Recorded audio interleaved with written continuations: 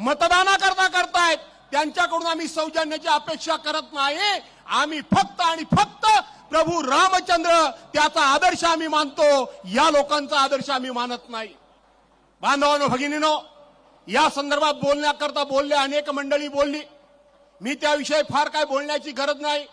पण केवळ आम्हाला डावललं याला डावललं त्याला डावललं नाही. तर आज हिंदू धर्माचा अर्थ हिंदू धर्म सांगण्याचा अधिकार ज्या शंकराचार्यांना आहे त्या शंकराचार्यांना सुद्धा डावलण्याचं काम या लोकांनी केलं. शंकराचार्यांना डावलण्याचं काम या लोकांनी केलं. सगळ्यात मोठा जर हिंदू धर्माचा अपमान कोणी केला असेल तर ते आजच्या दिल्लीच्या राज्यकर्त्यांनी केलेला आहे. हे आपल्याला विसरून चालणार नाही. हिंदुत्व हिंदुत्व सांगायचं आणि एका बाजूला हिंदुत्व असेल राम मंदिर असेल तीनशे सत्तर कलम असेल संसद भवन असेल ही सगळी मतदान देणारी एटीएम कार्ड समजून ज्यांनी वापर केला त्यांच्याकडून अपेक्षा नाही. कोण से शंकराचार्य? शंकराचार्य म्हणजे आपला धर्म. सांगणारे शंकराचार्य या देशामध्ये चार चार धर्मपीठ जी आहेत ज्या धर्मपीठातून खऱ्या अर्थाने हिंदू धर्म आणि हिंदू धर्माचा अर्थ आणि हिंदू धर्माची दीक्षा आणि शिक्षा दिली जाते. ते शंकराचार्य त्या शंकराचार्यांचं या सगळ्या राम मंदिरामध्ये या हिंदू धर्मामध्ये योगदान काय? अशा प्रकारचा प्रश्न विचारला जातो. नरेंद्र मोदींच्या केंद्रीय मंत्रिमंडळातले एक मंत्री जे लघु आहेत सुषमा आहेत आणि मध्यम आहेत ते प्रश्न विचारतात.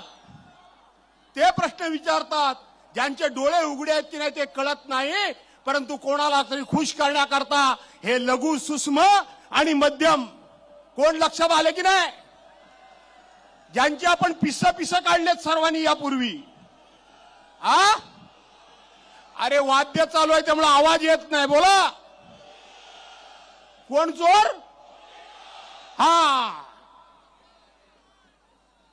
ते विचारतात शंकराचार्य कोण?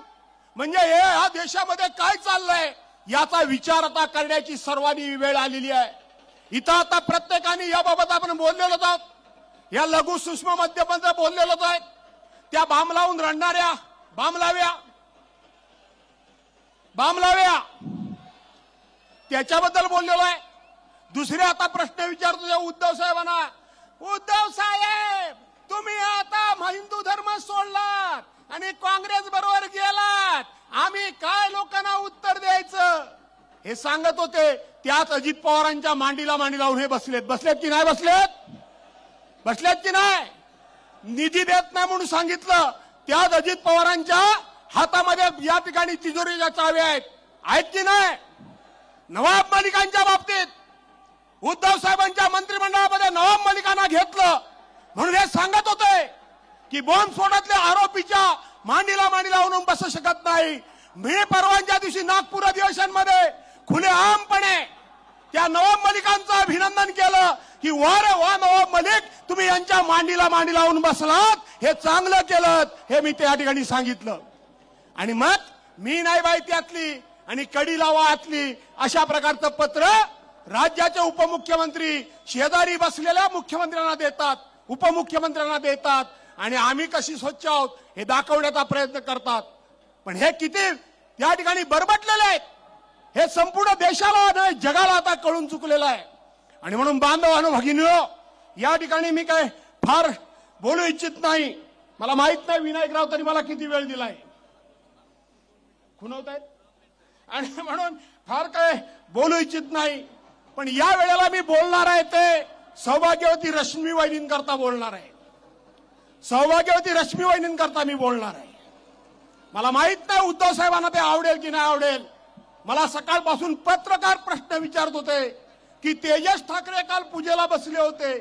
ते आता राजकारणात उतरणार की नाही उतरणार त्या प्रश्नाला मी उत्तर दिलं नाही. मी उत्तर एवढ्या करता दिलं नाही की पुण्यामध्ये एका काँग्रेसच्या नेत्याने एक भाषण केलं होतं. आदित्य ठाकरेंच्या बद्दल भाषण केलं होतं की आदित्य साहेब मी तुमच्यावर प्रेम करतो. तुम्ही मला आवडता. ते हिंदू हृदय सम्राट शिवसेना प्रमुख मान्य बाळासाहेब ठाकरेंचे नातू म्हणून नाही. उद्धव साहेबांचे चिरंजीव म्हणून नाही तुम्ही मंत्री म्हणून नाही तुम्ही आमदार म्हणून नाही तर तुम्ही मला आवडता आवडता ज्या वेळेला तुमच्या वडिलांना म्हणजे उद्धव साहेबांना या चाळीस कोल्या कुत्र्यांनी ज्या वेळेला घेरलं होतं त्यावेळेला वाघाची झेप तुम्ही घेतलीत आणि उभे राहिलात म्हणून तुम्ही आम्हाला आवडता. हे आदित्य साहेबांना एका काँग्रेसच्या नेत्यानं सांगितलं. त्याचप्रमाणे आदित्य तेजस ठाकरेंना जेव्हा कधी वाटेल त्यावेळेला ते जरूर झेप घेतील कारण तोही वाघाचाच बचडा आहे हे मला माहिती आहे.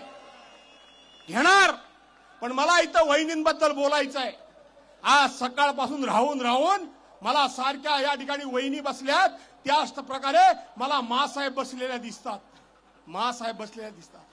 अशाच मासाहेब बसायच्या. अशाच बसायच्या व्यासपीठावर एका बाजूला धगधगता अग्निकुंड असायचं. एका बाजूला बाळासाहेबांच्या रूपानं जमदाग्नी ही तळपत असायची आणि दुसऱ्या बाजूला याच चंद्राप्रमाणे शांत अशा समोर महासाहेब बसलेल्या असायच्या मी या ठिकाणी रश्मीबाईंना बघितलं. मुख्यमंत्रीपद गेल्यानंतर शांत सैमयी संयमी मी रश्मीबाईंना बघितलं.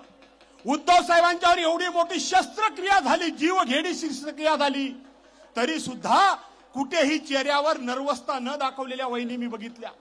आदित्य ठाकरेंच्यावर नाना तऱ्हेचे आरोप त्या काळामध्ये झाले होते. पण कुठे हे वहिनी डगमगल्या नाहीत. त्याही वेळेला शांत चित्तानं वहिनी त्या ठिकाणी आपला नित्य कार्यक्रम करताना मी बघितला. आणि म्हणून वहिनीना माझी विनंती आहे की मला मगाशी काही ज्या मी पूर्व विदर्भामध्ये आता पक्षानं माझी नेमणूक केली आहे त्या पक्षाच्या वतीनं त्या महिलांच्या वतीनं काही महिला मला भेटल्या होत्या. त्यांनी मला सांगितलं की साहेब तुम्ही वहिनीना साकडं घाला आणि वहिनीना बाहेर पडू द्या. वहिनी जर बाहेर पडल्या वहिनी बाहेर पडायला पाहिजेत का पडायला पाहिजेत? तर मध्यंतरी या महाराष्ट्राचे पहिले मुख्यमंत्री कैलासवासी यशवंतरावजी चव्हाण यांच्या सौभाग्यवती वेणुताई शरद पवारांच्या सौभाग्यवती प्रतिभाताई पाटील शंकरराव चव्हाणांच्या सौभाग्यवती विलासराव देशमुखांच्या सौभाग्यवती वैशालीताई देशमुख अशा काही माजी मुख्यमंत्र्यांच्या पत्नींच्या यादीमध्ये जर त्याच पत्नींच्या बरोबरीनं विनम्र जर कोण असतील तर त्या रश्मी ठाकरे असतील असा एक लेख आला होता. एक आदर्श पत्नी म्हणून एक आदर्श माता म्हणून एक आदर्श गृहिणी म्हणून आणि एक आदर्श राज्यकर्त्याची पत्नी म्हणून